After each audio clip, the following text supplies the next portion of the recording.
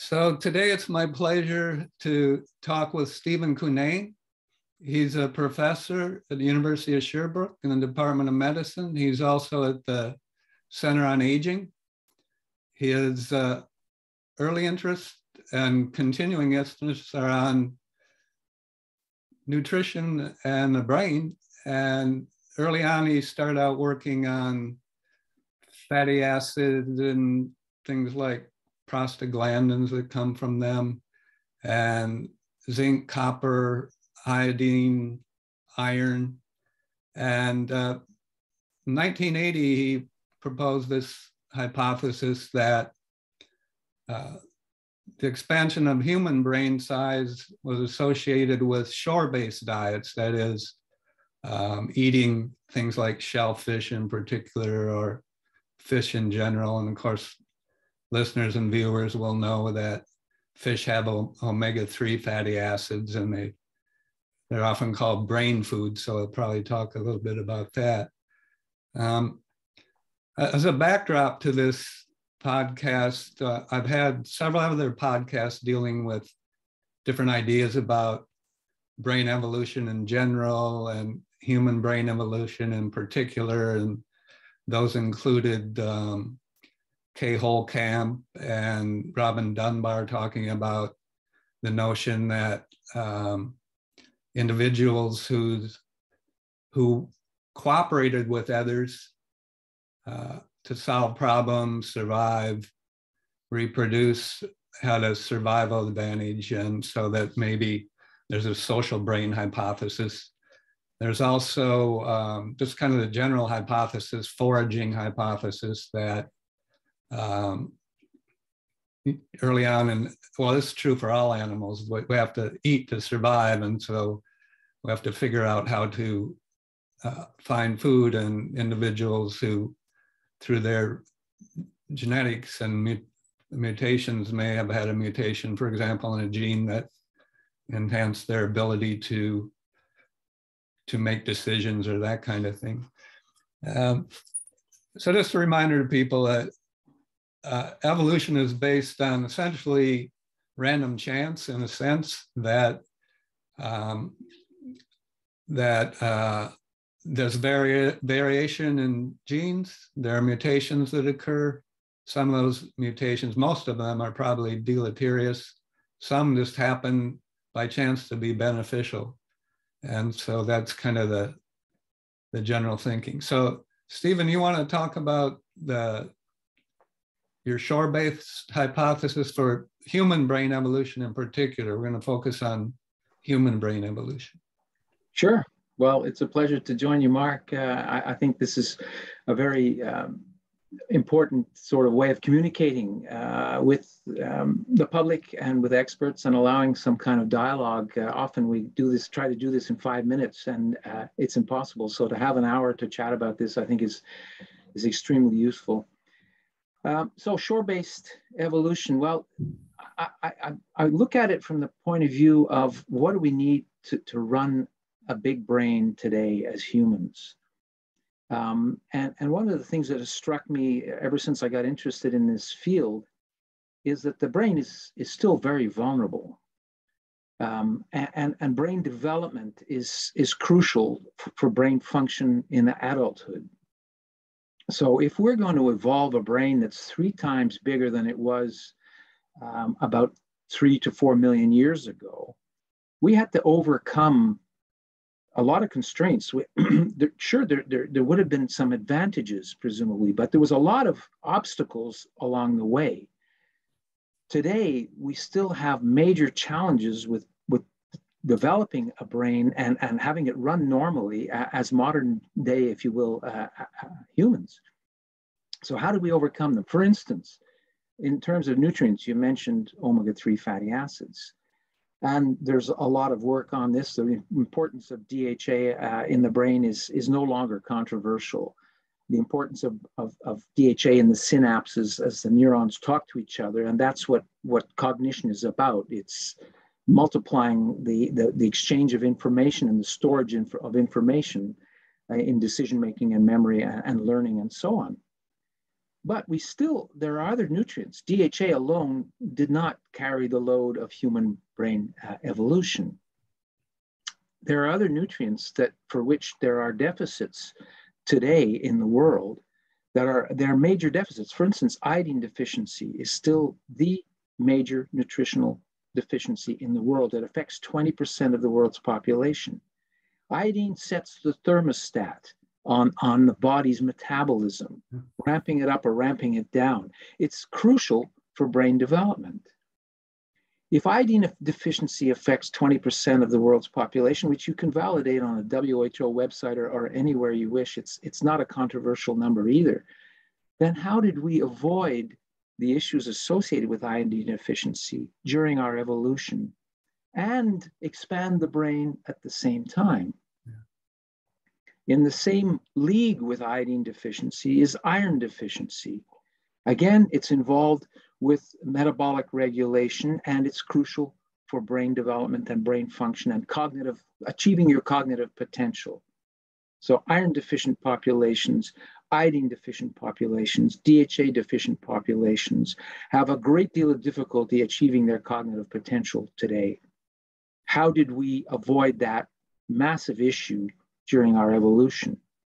Well, it so happens that those three nutrients, along with another of others that I would call a cluster of brain selective nutrients, is more, are more available in shellfish and fish and what I call shore-based foods than in the terrestrial food supply. So if you accept that there are certain nutrients, iodine, iron, DHA, zinc, copper, selenium, that are all crucial for brain development, then what source of food would you want to have access to in order to have the highest intake of those nutrients and have the most, the best guarantee of meeting the requirements for those nutrients when the brain is expanding? It's shore-based food. It takes less fish and shellfish, um, frogs, probably aquatic plants as well, fresh freshwater and, and or salt, saltwater uh, plants than any other source of food. So it seems logical to consider that we must have been near the shores. We needed fresh water anyway. So that's an, uh, obviously another uh, advantage to, to, being in that environment as opposed to in the savannas where everything is, is nutritional and, and water is extremely limiting. And vicious competition, by the way, as well from, from uh, very capable predators and, and hunters and scavengers and so on. And, and so, so, that's that's the that's what underlies this idea about shore-based nutrition is that we we have a cluster of these nutrients and you're trying to, to expand the brain at the same time. Where are you going to get the best supply of these nutrients? And those shores may be either freshwater lakes and rivers and ocean. Well, oceans are still, uh, the seashore is a nice place to visit for a few hours or to spend on a vacation, but it's still a, a very uh, challenging environment to yeah. try to live on. Yeah. Um, so uh, without, you know, the modern day housing and, and, this sort of thing. So I think freshwater shores would definitely be uh, involved. And, and, they don't have the same supply of DHA, but they have an adequate supply of DHA. And they have an adequate supply of, of, of iron and iodine. And the fossil record shows in East Africa yeah. that we were on shores and we were eating catfish and tilapia two million years ago, which is about when things start to take off in terms of brain expansion. So it's not like we've got some idea about nutritional requirements, but there's no uh, record that this would make sense in the fossil record. Um, it's, cons- it's consistent with the fossil record as we know it. It's not what we associate with our evolution. But when you look at people like Kathy Stewart, David Braun, John Parkington, Curtis Marean, they're all paleoanthropologists who've assessed the role of, of shellfish and, and, and fish in human evolution in the past. They're blue collar, blue collar, they're card carrying paleoanthropologists. Uh, and, they, they, recognize the importance of, of fish and shellfish uh, at at this early stage in brain evolution. It's not 100,000 years ago that we started eating fish, because if that was the case, it would not explain the brain expanded before that time. It started about 2 million years ago. So the, the idea is these shore-based diets were were necessary to for the expansion, but there there are other are. there are certainly other species besides humans that eat fish and and those you know shellfish um, and they don't have big brains.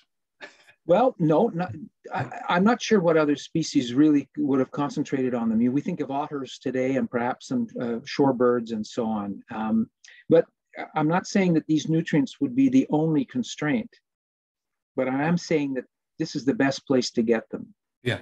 So if you want to evolve a bigger brain uh, I think that's a good place to be. Yeah. I'm not saying it's impossible elsewhere, but again, evolution is is a question of doing things that that work and and that don't cause you problems.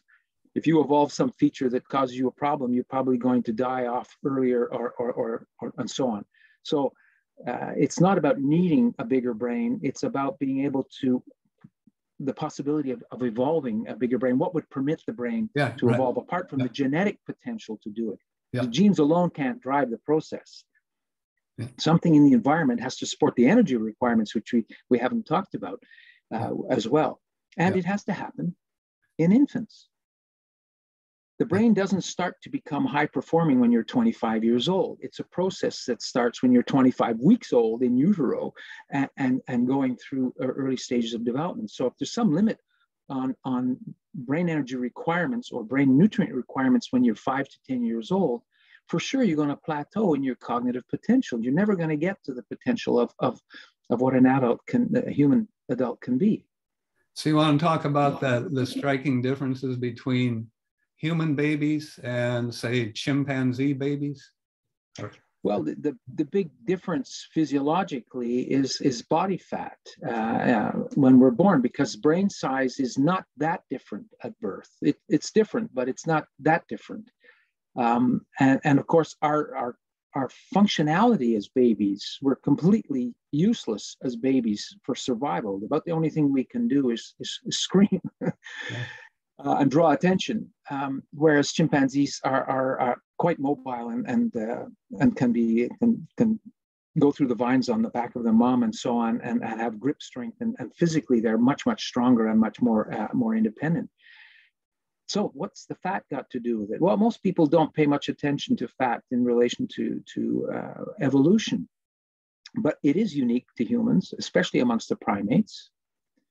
Um, and I think it was there because the brain, when you're born, is taking 75% of the energy requirements of the infant when it's born. 75%. It's almost useless as an organ, right? So, how did nature invest that amount of energy in an organ that's practically useless when you're born? 75%.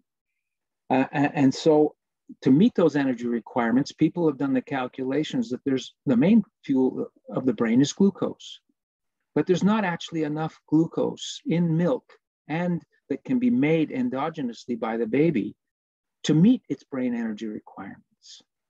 So what else contributes to the to the fuel requirements and would allow that brain to expand as we got older? And the answer is ketones, ketone bodies acetoacetate, and beta hydroxybutyrate. People with no interest in brain evolution whatsoever have shown that the third trimester fetus in humans is burning about 30, is it, the, the, brain is using uh, uh, ketones to meet about 30% of its energy requirements. And it's approximately the same number at birth as well. So ketones are an essential complement to glucose to meet the normal daily requirements of the newborn, healthy newborn infant. We're not talking about starvation. This is under normal circumstances. Babies are in ketosis when they're born. And, and are there data, are there data on, on the same kind of data on say the percentage of brain energy coming from ketones in a newborn, say a newborn chimpanzee? I don't think so. There's been some comparative physiology done done by this Derek Williamson back in the uh, wrote a review in the annual review of, of physiology in 1980 with a colleague of his comparing uh, adult animals, mammals. Um, a, a, dog, for instance, cannot uh, survive um, fasting for very long. um, and, and some other species as well. So the ability of ketones to save the brain's energy requirements during starvation is i'm not saying it's unique to humans but it seems to be that we are we are have an advantage there shall we say yeah. Yeah. but i think it's important to distinguish between meeting the brain's energy requirements in an adult during starvation or energy restriction and meeting them in an infant on a day-to-day basis yeah. ketones are also the primary source of carbon to make the lipids in the brain. Most of the lipids in the brain are made within the brain. Some are imported, like arachidonic acid and docosahexaenoic acid, the two primary polyunsaturated fatty acids, but virtually all the cholesterol in the brain, virtually all the saturated fatty acids and the monounsaturated fatty acids, which are important for myelin, are made within the brain. And the primary sub substrate to make that is ketones. So ketones are not just sort of a catabolic substrate to, to make fuel, to make ATP, but they're an anabolic substrate to make the structure of the brain. And if you're trying to send a message from one part of the brain to the other part of the brain, you need an insulated axon. You need myelin. You need that system to work well. And the reason it doesn't work well when you're born and, and, and an infant can't coordinate its movements and can't, can't do much because there's very little myelin on the axons. I'm not even sure how, the percentage of axons that are actually present, but they're not well myelinated. And that's a process that takes 20 years or more. Yeah. And ketones are contributing in an essential way to do that. And, so and again, the, if you want to. Ex- and uh, the, as we've had in other podcasts, the prefrontal cortex, the front of the brain, is the part that's expanded most. You know, you compare chimpanzee to a human, it's mainly that prefrontal cortex, and that's the last brain region to be myelinated. So that's the last brain region where these lipids, uh, you know, are are used to like make the final functional, well-functioning adult brain. Right. Yeah. Now humans, let let's be clear, uh, humans are not unusual in having a source of ketones in milk. The source being medium chain triglycerides triglyceride or medium chain fatty acids. So fatty acids of 6, 8, 10, and 12 carbons. Those are the most ketogenic fatty acids, and they're present in all mammalian milk. They, the, the common names for the C8 and C10 are caprylic and caproic acids, and that comes from capra, which is the goat. So they were huh. first identified in goat's milk. Huh nobody says much about the intelligence of goats. So it's not a question of, of the ketones being required to make the species more intelligent. They're in milk. The, these ketogenic fatty acids are in the milk of all mammals. And these are the, the these are the medium chain triglycerides that maybe some people have heard of because they're becoming popular as like a, a dietary supplement. Yeah, it's it's something that's become quite uh, popular in, in, in recently. So before the end of lactation, during lactation, all mammals, as far as we know, get medium chain fatty acids from the mother, and the infant will be able to generate ketones. But when lactation stops, there are no further ketones being produced. There's no more M- MCT or medium chain triglyceride coming in into the infant. So if it's going to generate ketones, it's probably because of energy restriction. But in humans, we've got 500 grams of fat at birth. And some of the, the medium chain triglycerides in the milk are going to make ketones immediately, but some are getting stored as well, which in a way builds up your store of ketogenic fatty acids that at the end of lactation, there's a way to prolong the availability of these fatty acids in the fat stores. In addition to which, there's about um, a gram of DHA in body fat at birth, which is something like 30 days of the brain's energy requirement for DHA, which is already stored on board, huh. apart from what's coming in in the milk um, and can be produced in the liver. So these are forms of insurance for the energy requirements and for the nutrient requirements that will allow that expansion process to be supported. Yeah. But there's there's no storage of iodine that we know of. I'm not sure if there's any storage of iron in any biologically relevant sense. uh, in terms of meeting brain requirements for these nutrients. So those become the vulnerable nutrients. And for them not to be vulnerable, they have to be in the food supply, like vitamins. They're essentially vitamins. What are vitamins? They're nutrients that the body has got to acquire on a regular basis, or deficiency symptoms will, will arise. So the best way to have a regular supply of these crucial nutrients for the brain is to be eating them just about every day. Yeah. And um, so why don't you go on then and talk about um, so human babies have a lot of fat they have a, a lot of storage of these vital fatty acids that are, are good for brain development.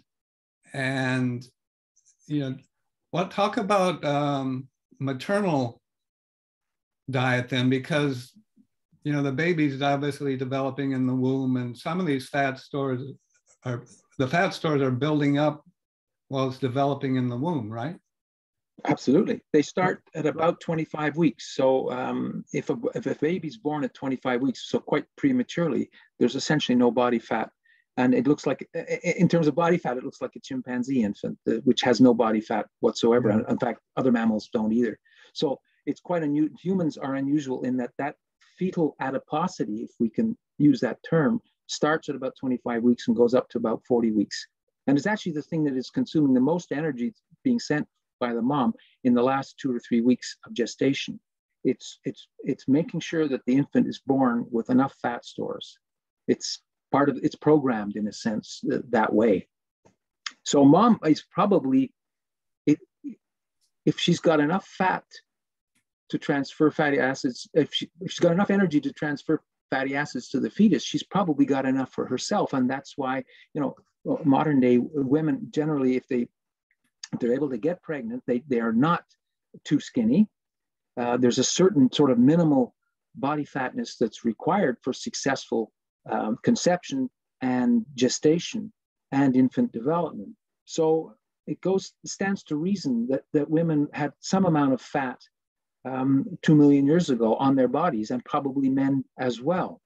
We tend to portray the images of, of them as being very lean and very athletic, especially the men, because we've got this idea that they were out hunting and, and being very virile and, and, and resisting all the elements.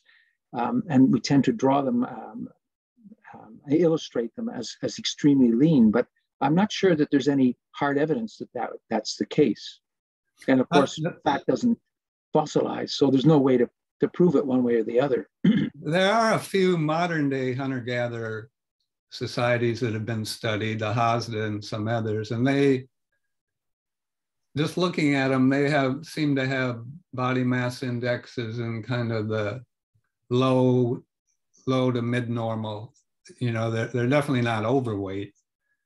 Um, yeah. No, and and I'm not sure exactly what amount of fat would be required, but I, I think there's a difference between evolving in a situation and permitting the brain to evolve, um, as opposed to maintaining it yeah. and having the skill set to to survive in an environment that's very challenging um, it's not the same thing they are born most of them with with a brain that is going to allow them to to be extremely perceptive coordinate their activities socially as as we all do to, to live in these and pass on this information by the way of course to, to the next generation yeah. so as to optimize their chances of surviving and continuing to have infants and, and, and, and continue to live in this environment is, is that the same as evolving in that environment? I'm not sure whether we could have evolved in the environment that the Hadza actually live in today, but I, that's beyond my expertise. Yeah.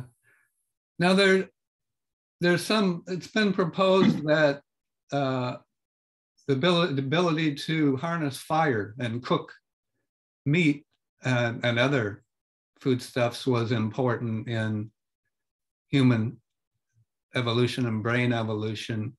Have you read up on that at all? Do you know much about that? Uh, I, I know a little bit about it. I think the, the idea of fire, of course, is that especially to, to be able to cook things, uh, fiber, for instance, dietary fiber uh, is, is more accessible after cooking. I guess uh, the obvious example, are st- and starches like like potatoes or, or tubers or, or roots. Um, so this would help liberate some amount of, of energy that would otherwise be inaccessible to us. And, and I can I can understand that we we certainly have learned to do this. Um, I, I don't know whether you're tying that that ability to to actual to brain evolution or not. Which, which is the cart and which is the horse? Yeah. Did the big brain allow us to take advantage of fire for cooking purposes, or did it fuel the big brain? And and I don't really see how cooking would have helped us um, fuel brain brain uh, evolution. And it comes back to the infant. What what what was supporting infant brain development to allow it to, to take 75% of the infant's energy requirements at birth, and to fuel over 15 years the development of this bigger brain as it as it becomes cognitively more performing. How do you meet those energy requirements before you become an adult and, and use fire? Well, there was clear there was clearly selection for higher cognitive functions and things like being able to invent tools to harness fire, to um, cooperate with others, you know, social, I guess you'd call it uh, social complexity, social intelligence, I guess, intelligence, you know, general intelligence. And so, you know, there's variation between individuals and at, so, at some point, you know, there's an individual that, you know, found it wasn't afraid of fire and was able to, you know, maybe there's a lightning strike and there's a fire and they put a stick in there and that started on fire and then they were able to, you know, and so that undoubtedly the, the way it works. So then the question becomes, uh, you know, what is it about their brains that was selected for? You know, were there certain neural circuits? Uh, and that's kind of, there's no way we can know for sure, right? Because of, we, no, it, it, yeah. it I, I, mean, the scenario is to, to, totally plausible that, that you that you raise, uh, Mark. It probably the, a lot of East Africa uh, was was is a volcanic region, and probably there might have been hot lava that could still ignite a, a branch or something like this. I, am sure, I'm sure they were exposed to the opportunity to use fire thousands of times before anyone actually was able to, to profit from it and and and uh, harness that that skill. Um, and so, you know, that makes sense. If, if, if you look at the cave art, it, it's another example. Uh, think, not thinking about so much about survival, but about one of one of the characteristics of humans, which is this ability to to imagine and to to draw. I, have been in some of these uh, settings, um, and one of them, at least that I would like to share, is is a, a place called Rouffignac uh, in France, in, in southern France, where there's a horizontal uh, cave that's nearly a mile long. And they go in there, and where the art is, is at the end of the cave on the ceiling, and it's only about three feet high. So, can you imagine for anybody that's taller than three feet, you're on your knees, you're on your back, and they, they're drawing. They, they, what are they using for light that at that yeah, distance? It has to be a torch or something there has to be a torch or some kind of a wick, an oil lamp, or, or something like this. And what they're drawing is you know, mammoths and some other uh, big beasts. Uh, a mammoth that's that's nearly three meters, uh, uh, sorry, three feet long, over a meter. It's sorry, it is three meters. It so it's huge in relation to the space they have to work in. So the skills that it took to do this and the confidence to be able to go into this environment, let alone survival and sort of hunting animals, but look at the way they they developed their art and the skills that that that, that were shown. It was is absolutely phenomenal. And how many years ago? How that's about 25 to 30,000 years ago. I, I, don't remember exactly, but yeah. it, it's not, it's, it's relatively recent. It's like Lascaux. It's, it's in the same area as Lascaux, which is in uh, one of the, the, the uh, mythical, practically, uh, cave, cave sites. So this this cave art was always in in unusual places, and it's almost as if it was sacred places with with very little access, and only the best artists got to go there, if you can imagine. Yeah, and that you can imagine that's uh, picture's worth a thousand words, and that's uh, very like you know the first way humans probably transferred information. You know, for example, uh, uh, whatever blueprints for how to do something. well, or the, the classical uh, spear points and so on. So the people who were making those and, and ending up using them for hunting generation generations later uh, had to be extremely skilled. It takes a fabulous skill, and we've got a big brain now, 1,400 grams. They didn't. Their brain was about half that size. So the practice and the time, you, you had to be in some place and have the time to, to work on this and make a mistake and do it again and do it again. And your son or your daughter is growing up watching you and gets a little better at it. Yeah. But to put some pressure on it and to say we needed these uh, spear points in order to hunt, I, I think is it's it's not conceivable in the beginning. It became a skill that we could use for survival, go off on a on a hunting trip and hopefully come back with a, a gazelle or something that we've managed to kill. But to know that at the home base, there's a supply of food, an accessible supply of food that doesn't require tools. Because you know, if, if it was salmon, think we talked about seashores brief, briefly there. What there's no fish you can get uh, on the seashore without a fishing line or, or a net or, or a boat. You need some technology. Whereas in the lakes, as Kathy Stewart has pointed out, the catfish can be caught by hand, and they still are today in the in the uh, lakes in East Africa. So you don't need any technology. And things the, like the shellfish and the frogs yeah. and the birds' eggs are, are all accessible as well.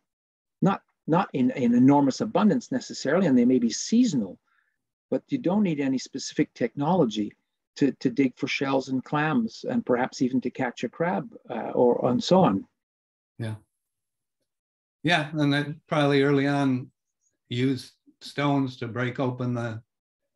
Sure. Which is a primitive tool, right? For yeah. Acquiring food. And then the time that it takes to figure out how to fracture them so that you can actually take advantage of the sharp edges. Yeah. Um, so one of I looked at a table of looking at, you know, based on skull size, the increase in brain size with different species in human evolution, and seemed like with Homo erectus there was a jump from the the, the species of hominid before them to Homo erectus, and from Homo erectus to us, it's actually not a huge increase. And uh, I, I, think I saw it was in an article you wrote or a talk you gave, you know, a, a picture, uh, a map of showing essentially Homo erectus. Uh, in the branches. Yeah, yeah. Oh. You, so what are your thoughts on that? Is it what what might have happened during that period? Well, I, am not a paleoanthropologist, yeah. so I, I, have access to the same literature as you. And, and I guess one thing, one of the cautions that I hear um, people um, making is is that that that do that are the specialists is that we have relatively few examples uh, of these skulls. So um, it may be that there was a jump and we're simply missing the the um, the samples in between. yeah. Um, it's like today. I, I, I, think human brain size today is is there's probably a 50% difference between the smallest and the biggest brains of, of perfectly intelligent uh, adults. So there's quite a range even today mm-hmm. uh, in, in what we call normal and, and the risk of, of using brain size as a proxy for cognitive potential or, or performance is, is it's very risky. Um, so uh, whether you compare men and women, women typically anatomically have smaller brains, but I, am not going to get immersed in the argument that there's a difference in intelligence. So, yeah. so it, it, it is, it's, and, and Neanderthals had bigger brains than, than we do. Um, and, and there's no argument at the moment that, that they were more intelligent necessarily. So there's, we're learning a lot and the examples we have to base so much conjecture about how we interpret this information and whether certain areas of speech areas already developed or not developed and so on. But the Neanderthal brain was definitely bigger than ours. Um, so you can take that argument so far, but it's better not to take it too far. Do you want to talk about um, these fatty acids and, and brain function in adults and what's known about that? Uh, in another podcast, I'll have you talk about what you've really been focusing on uh, a lot for the last, say, what, 20 years maybe, is uh, brain aging and neurodegenerative disorders. But kind of as a, a prelude to that, uh, do you want to talk a little bit more about uh, the fatty acids? Brain fuels and yeah. Uh, well, uh, in general, I mean, glucose is, is the main fuel of the brain. But I, I think it's important to remember that the brain is a hybrid car there are two two different fuels, and um, ketones is one. As we as we mentioned earlier, it's it's an important fuel uh, for the development of the brain, for two for both as a fuel fuel and as a car, uh, ketones are a source of carbon to, to build the lipids in the brain. As we get older, that dependence on ketones seems to go down. And the availability of ketones, unfortunately, today seems to be going down endogenously produced because we have uh, an excess of carbohydrate in, in the typical Western diet. We have an excess of insulin.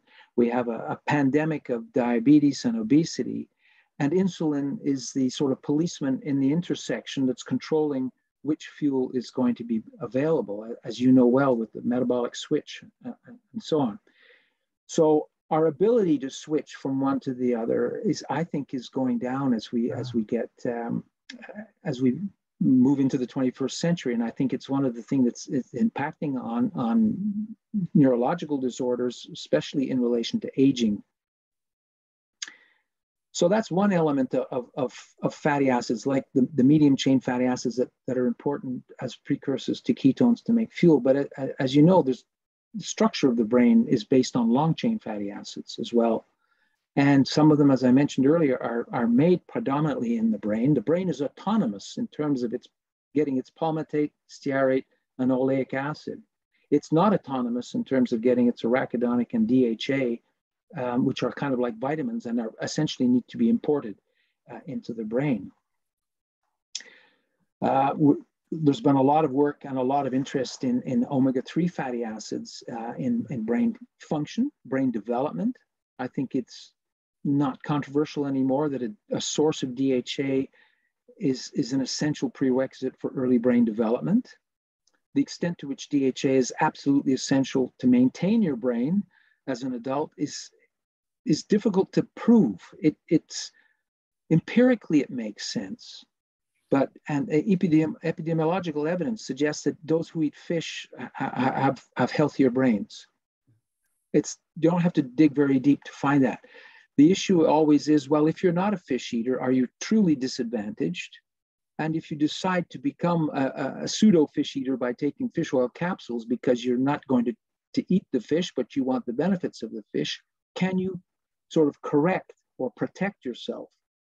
And there, so using the supplements and, and, and sort of clinical trials to establish to what extent DHA can, you can replace it or you can protect yourself going forward that that doesn't hasn't shown really clear-cut results.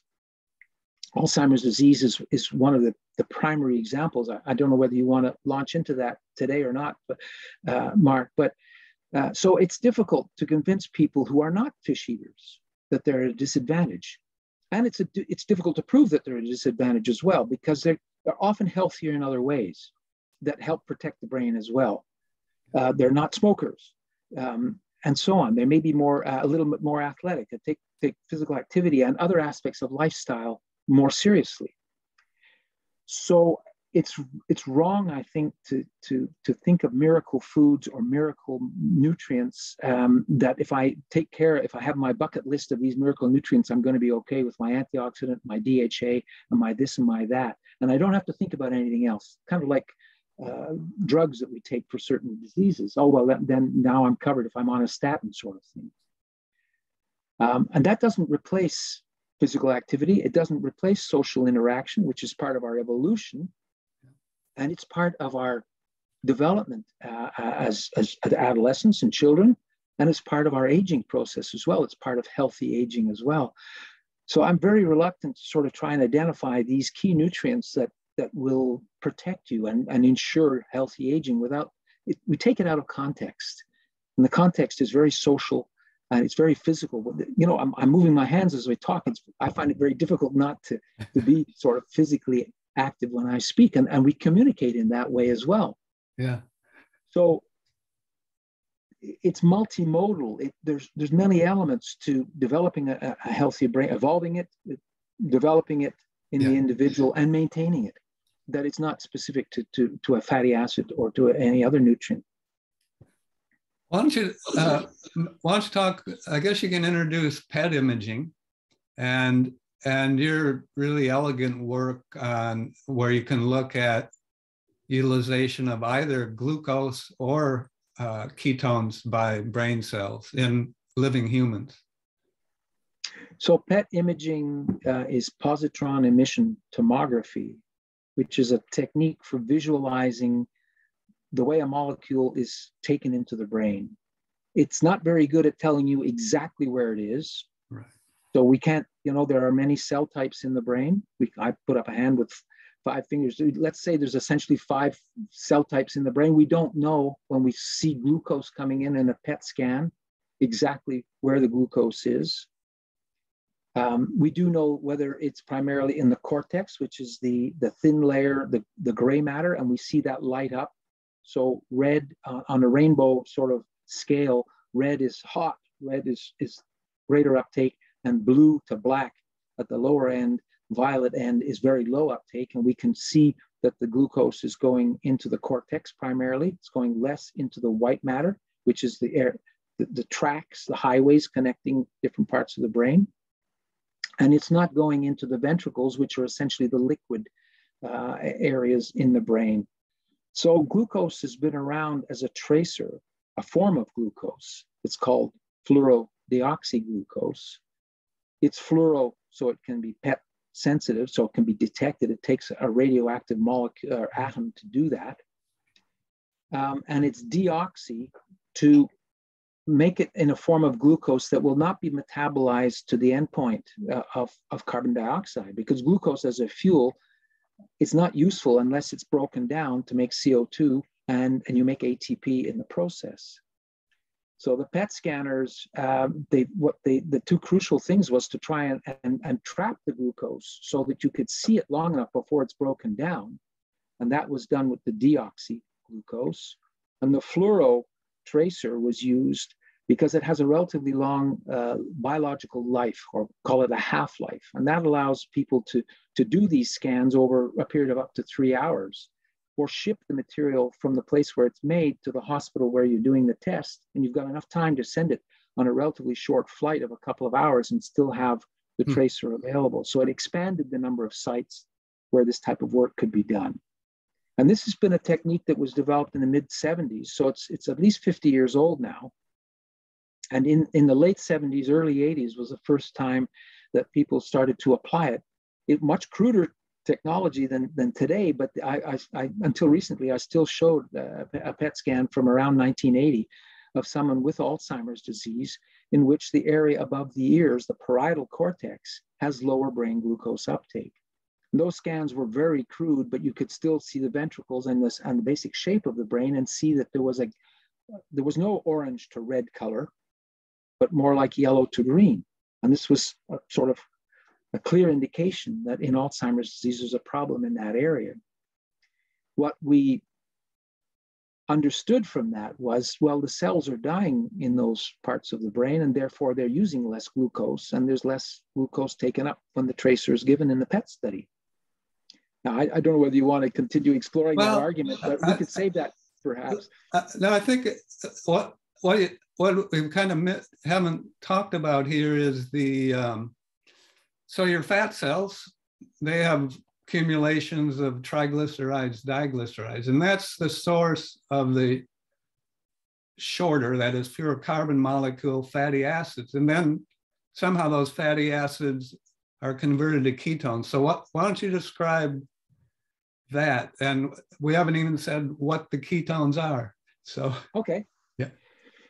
Well, I, the connection for me between the fatty acids and the ketones was a, a project we did early in the in, in the early 1990s, uh, and we were trying to look at the metabolism of, of an omega-3 fatty acid called alpha-linolenic acid. So I'm going to answer your question, but using a specific example. Okay. Turns out that alpha-linolenic acid, uh, amongst our common dietary fatty acids, is the one that's burned the most rapidly amongst the long-chain common fatty acids. And I had it labeled on every carbon, and we wanted to look at its conversion to DHA, docosahexaenoic acid, in the brain. So we're interested in brain development. So we'll give this alpha linolenic acid, and with the, a method called uh, NMR spectroscopy, we could we could actually see this in living animals. So how uh, so alpha linolenic acid would be converted to DHA by adding double bonds and and by adding uh, four carbons. What we learned though is that, and we already knew uh, that, that these fatty acids are oxidized. Some are oxidized rapidly and some are oxidized more slowly. DHA is oxidized quite slowly, but as I said, alpha linolenic acid is oxidized fairly rapidly. So more rapidly than saturated fatty acids or unsaturated fatty acids for, in this, for the same amount.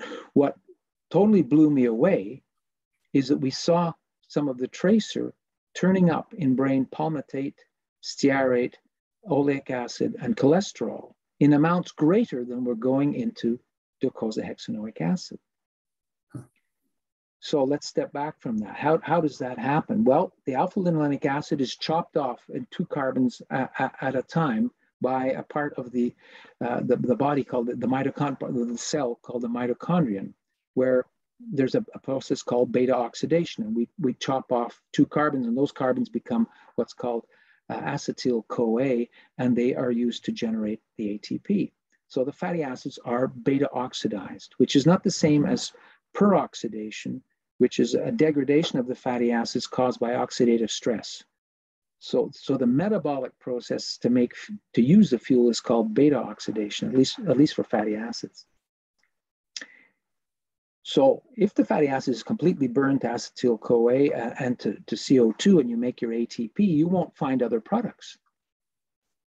But in fact, we do with some of them, particularly with alpha linolenic acid. And I explored that and found out that ketones were an essential intermediate in the process between breaking down the fatty acid, making the acetyl CoA, and regenerating or generating some new lipids at the same time. And that's what started my interest in ketones. So it's too simple to think that fatty acids are simply stored in the body or burned as fuel. That's the fate of most of them most of the time.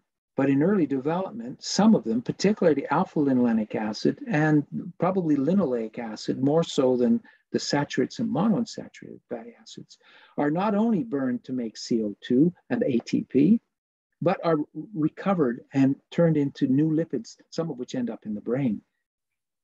So this was astonishing for me. And then I found an earlier literature uh, that, that confirmed that. So I was quite relieved because I thought we'd done something bizarre. And, and in fact, it, it, it's known, except that most people concentrate on DHA as the endpoint. So they don't look at these other uh, end products. But that, that's what got me interested in the ketones. And then the issue of of their therapeutic uses and so on. I, I quickly learned that um, epilepsy has been treated with a ketogenic diet for for hundred years now, yeah. um, and so I realized it was a clinical result that was important here too. This was not just a biological curiosity, and that people who were fundamental to understanding the biochemistry of, of fuel metabolism, like the Krebs cycle, Hans Krebs, he actually worked a lot on ketone metabolism. Uh, his work on the Krebs cycle or the citric acid cycle led to him getting the Nobel Prize when he was working in Oxford. But one of his, I would say, pet interests, I never met him, so I don't want to be, uh, but I, I, think it was uh, one of his, his, keen interests was to study uh, pet, uh, ketone metabolism um, in, in early development. So I understood that there was some importance to them in, in brain development as well. Um, and it struck me as, as very interesting that here's a fatty acid like alpha linolenic acid, which is it's like a vitamin. The body can't make it. And it's got two very different or three very different destinations DHA, fuel. Some of it's going to be burned and used as a fuel. and some of it's going to get turned into ketones to make brain cholesterol and brain fatty acids. And in, in the liver and in the lung, for instance, we looked at the rest of the body as well. The surfactant in the lung was actually benefiting from the carbon to make those lipids, the palmitic uh, containing uh, lipids in the surfactant of the lung. So alpha linolenic acid is going everywhere. And that's why there's none of it, you never find very much in it in the body because it's very rapidly um, degraded. So DHA is not rapidly degraded, and, and it's very important structurally. So there's something right. critically different between an omega-3 fatty acid with 22 carbons and six double bonds in terms of its oxidation versus one that's a little shorter with 18 and three double bonds. Their, their, their destiny is, is radically different, and their role in, in biology is quite different. Right. So, so talking, you talked earlier about the importance of these omega 3s and so on in myelination of the axon. So essentially, well, saturates and monounsaturates are important in myelination. Not not the omega threes. Essentially, ah, ah, virtually okay. no. The, the, the omega threes are important in the synapses and in the in the connection connection points between okay. neurons, but not in the axon that leads ah, up to the synapse. It's quite localized. Okay. But in a general sense, some lipids are used for structural purposes, you know, incorporate into membranes and, and other, and, and also use some for energy. Now, my understanding is say in these human babies that have a lot of fat and they're using that fat for the brain development that includes and some of that is used for supplying energy to the brain. And that my understanding comes from the ketones. There, acetoacetate and beta hydroxybutyrate are coming from fatty acids that are derived from the triglycerides and diglycerides in their fat stores. Right. And when you, when you do the PET imaging, you developed a tracer, a radio labeled acetoacetate. So one of the two ketones that are used as fuels that are used for ATP production in neurons. Right. And probably, you know, you mentioned the brain has a lot of different types of cells. And, uh, but if you just look at neurons versus the other cells, which are called glial cells, the neurons have a really high energy demand. They're electrically active. It's like your muscle, it's like you're constantly exercising the muscles of your brain. Right. So probably intuitively it would make sense that most of the, say, the glucose uptake and accumulation of this labeled, uh, radio labeled glucose is in, uh, in neurons just because they're more metabolically active. Yeah. So can you talk about the acetoacetate tracer and the study you did where you put uh, people on a ketogenic diet and you compared the relative utilization of glucose as a fuel for brain cells versus ketones? Sure. So the context for this is that, uh, as you mentioned, we developed the ketone tracer. It's not that difficult to do. One other group has done it. Um, in fact, the second group now in Denmark has done it as well. But um, it, so that that's developing. But it's it chemically it's not difficult for those that are interested in, in the chemistry of it.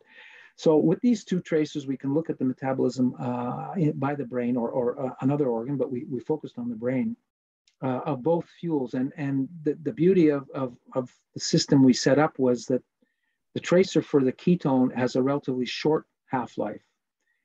So that's a disadvantage because you don't have much time to follow it, but it's an advantage because you can then put it in first and it will will look at it during a certain period of time and then what's called a washout where the residual levels go down to zero and then we can put in the glucose tracer in the same person virtually lying in the scanner still yeah. Um, and so that we can look at conditions that are practically matched they're, not in real time but but as close as you can get to real time so that if you see a difference you can't sort of blame it on the fact that they came back the next day and they had a cold or they were stressed or, or whatever it was, they went for a run. It, the physiological conditions are essentially identical.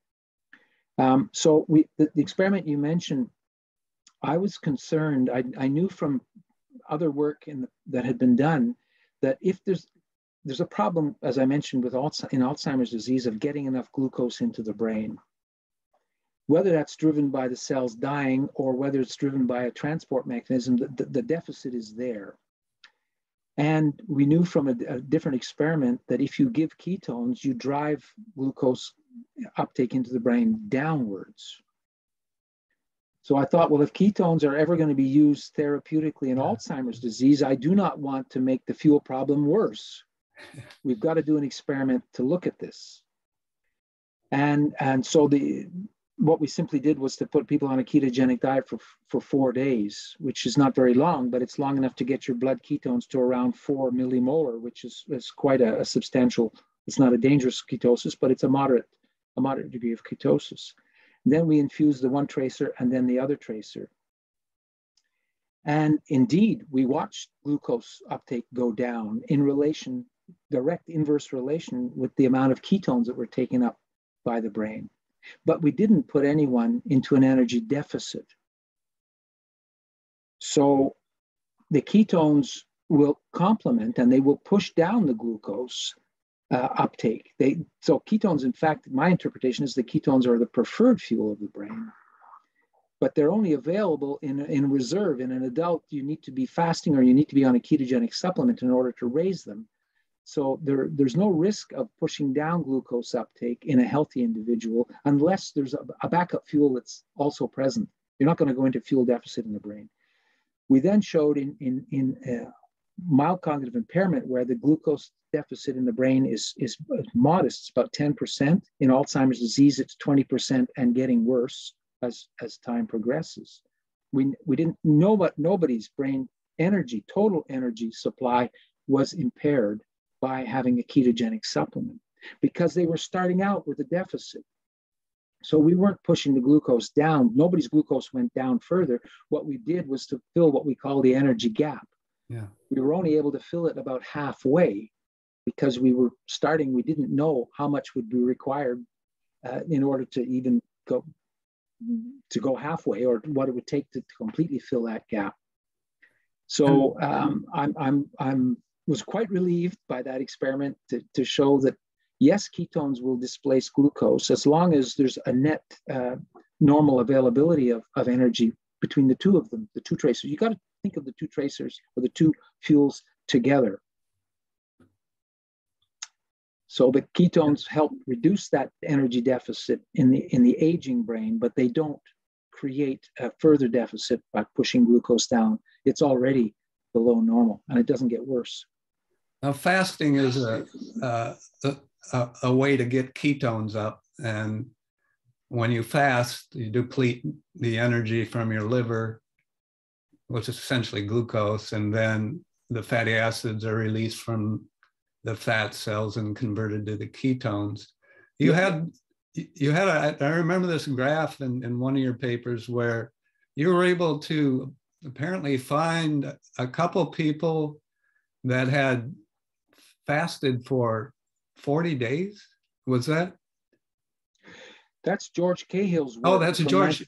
Oh, you put together some data from you and him? Or? Yes, I think I, I, in a couple of papers we pooled uh, results from a variety of different publications. Um, they did 40 day fasts in obese individuals under medical supervision. In fact, um, I, I, don't remember his first name, but the first author on a different paper, Drenick, what was his first name? I, I don't recall Drenick's first name. They did a 60 day fast.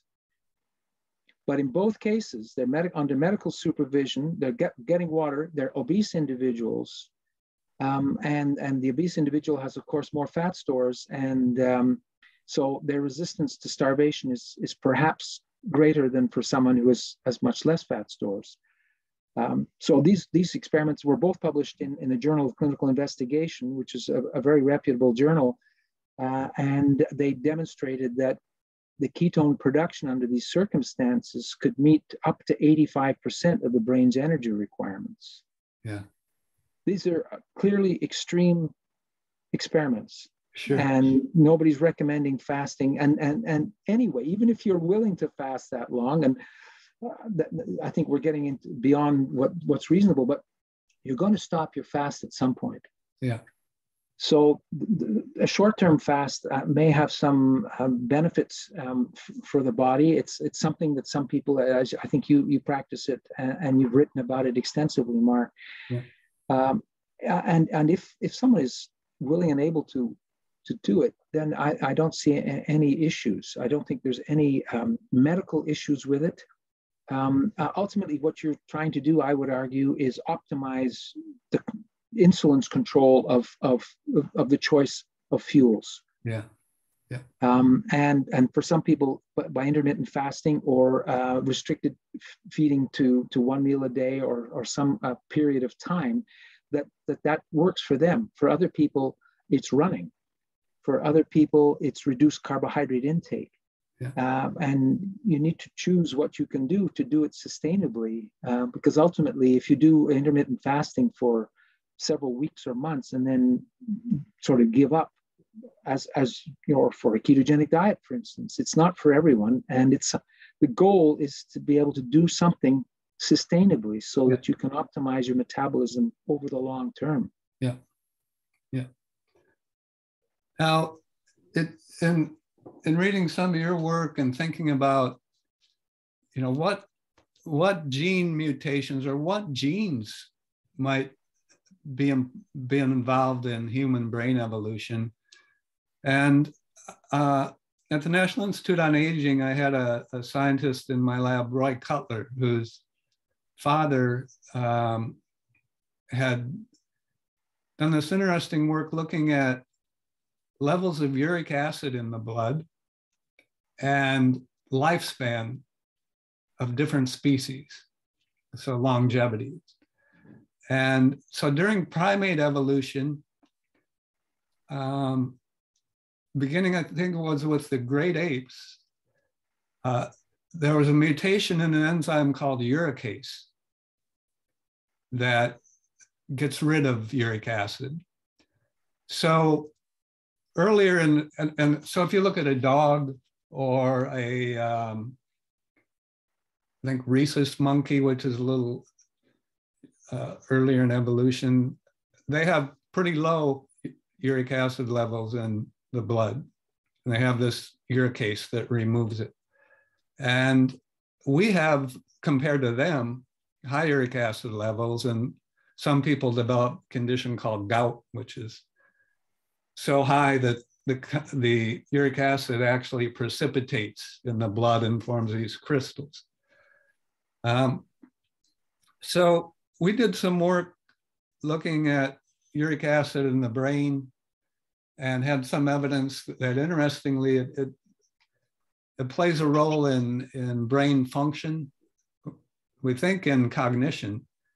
And interestingly, there's a, a uric acid, we, we did some work where we modified the uric acid molecule and so on, looked at the effects on neurons and found this one modification that turns out to be a metabolite of caffeine, which is kind of interesting because caffeine, it's pretty well established, it can enhance your alertness and, and ability to, to concentrate and focus.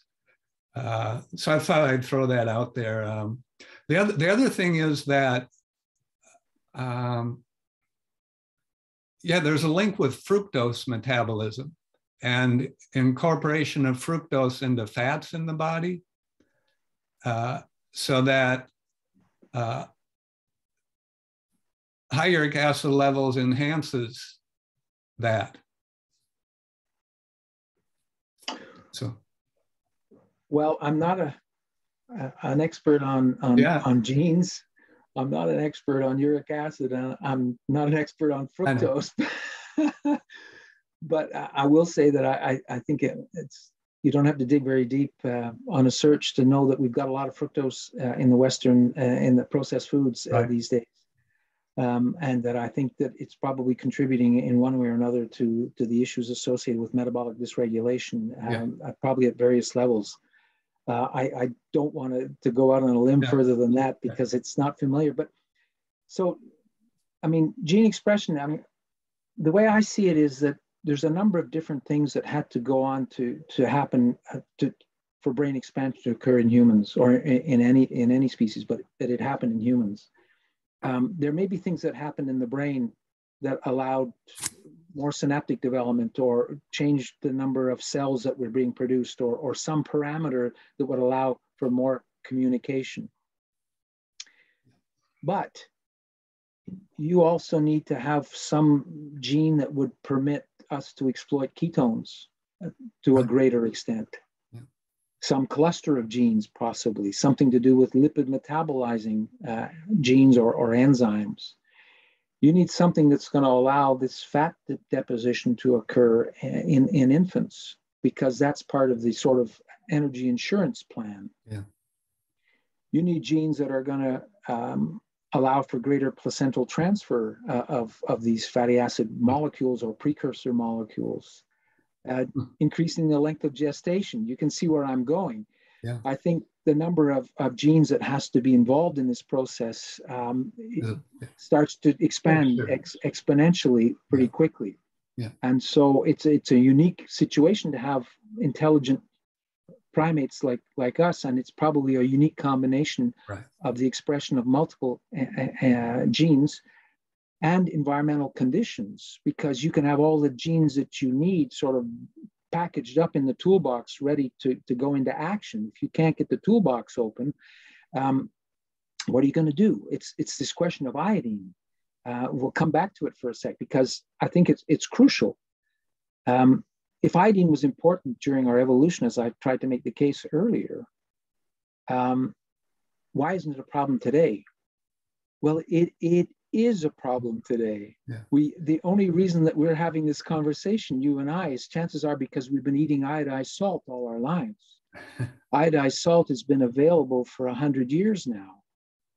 Uh, and that's the way, that's the only way most people get their iodine, many people, especially the non-fish eaters. So um, we needed an environmental circumstances to favor this as well. Um, and, and, and so favor our access to iodine, favor our access to iron and the other brain selective nutrients. So the gene system, the blueprint can be there, but you need the cooperation of, of the right environmental situation to make to make the system go. And, and it, it's unique. And, and I guess it was a unique set of circumstances between the two that allowed it to happen and, and has kept us going.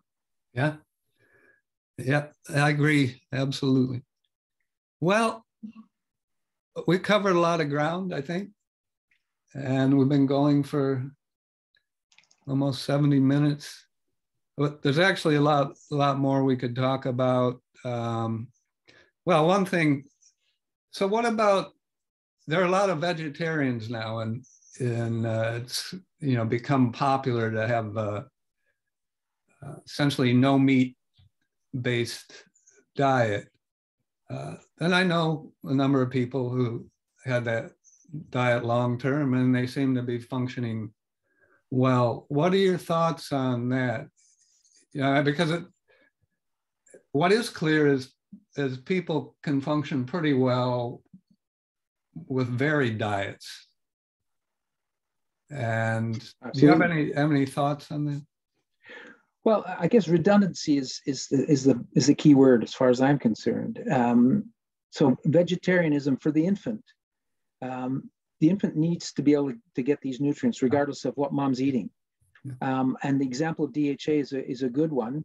Um, the infant is born with DHA stores in its fat it's born with the ability to make DHA within the brain, but also particularly within the liver and probably within the intestine and perhaps other places as well. And once it's born, it, and, and if it's on a mother's milk, it's getting DHA uh, in the milk. So that's redundancy. That's simply offering more of a guarantee to meet the, the brain's energy requirement, the brain's DHA requirements to the infant. Is there redundancy as far as the other nutrients are concerned? Well, I don't think mom's got any um, iodine stores, um, apart from what's in the thyroid. Um, I don't think the infant has either. So this becomes a, a vitamin, and, and mom has got to supply iodine and, and uh, the whole the whole um, list of, of uh, essential nutrients, vitamins that are not stored. So a vegetarian is going to be able to meet normally uh, should be able to meet its its its her his or her uh, vitamin requirements without much difficulty. Still, something like iodine is become, going to become limiting. If you've got iodized salt, you, you're cheating, but but but we're all cheating. So uh, that's not to, to say that vegetarianism is bad. If you're eating iodized salt, a lot of people are choosing not to eat iodized salt and they think marine salt is better or some Himalaya salt and so on. There's all sorts of salts these days, but it's the only the one that is iodized that is going to provide you with iodine if you're not getting iodine from a different source. Natural sources for vegetarians would include uh, seafood, uh, sorry, um, uh, seaweed yeah. like nori on, on, on, on sushi, for instance. Um, but the list is going to be very short for your for vegetarian sources of iodine if you're not consuming iodized salt or or seaweed. And iodine so, in, in it's also in most multivitamins. Uh, yeah. Okay. Yeah. Um, I have I haven't noticed that, but that that could well be true. Yeah. So you, vegetarians, I would say in general, and I, guess there's a whole, you know, just as, as omnivores, uh, there's there's all sorts of different ways of being an omnivore, and there's probably quite a few different ways of, of being a vegetarian. And some people are, are more conscious of, of their health and paying more attention to a lot of things that affect health, uh, not just their food. They're not smokers, many of them. They're not drinkers, many of them, yeah. and so on. Yeah. So that's that's an advantage that you need to bring into the equation. But things like DHA and iodine and iron, plants, generally speaking, have less bioavailable iodine for sure. There's what's called goitrogens. And if you're eating uh, cassava or millet, there's the goitrogens are, are very prominent and they will they will stick the iodine will stick to them and you won't get the, you won't get it. Phytate is an, also an important chelator for for iron and, and zinc and copper in in plants. Huh. So you need to be taking the, the, the, the multivitamin or maybe eating fish. Uh, if you're a vegetarian that eats fish, I think you're protecting yourself. If you're eating eggs, it's, it's a, an excellent source for, for most of these nutrients. If those are off your list, then you need some other insurance, yeah. nutritional insurance. Yeah. Uh, otherwise, you are at, at risk. Yeah.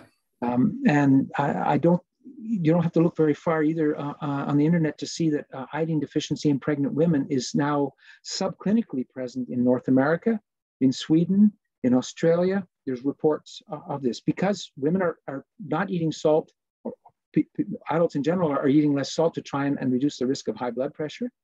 But that's the source of the iodine, which is beneficial. Huh. They're eating less meat, which is a moderate source of iodine. Obviously, if you're a vegetarian, you're not eating meat probably at all. Um, so some of these essential nutrients, you've got to get them in a, in a multivitamin um, or, or be quite inventive about how you're going to acquire them. Maybe fermentation and some of these other processes will release these micronutrients from phytate. Um, and I don't know exactly uh, whether how effective that would be, but it becomes a risk just like other risks that omnivores take, where they may be getting enough certain nutrients, but they're getting too much uh, of things they don't need and creating other metabolic risks for their brain or for their body. Yeah. Um, in, the, in the fats, you talked a lot about omega 3 linolenic acid, but uh, there's evidence that uh, not only the omega 3s may be good, but the omega 6 is may be bad and, and promote inflammation.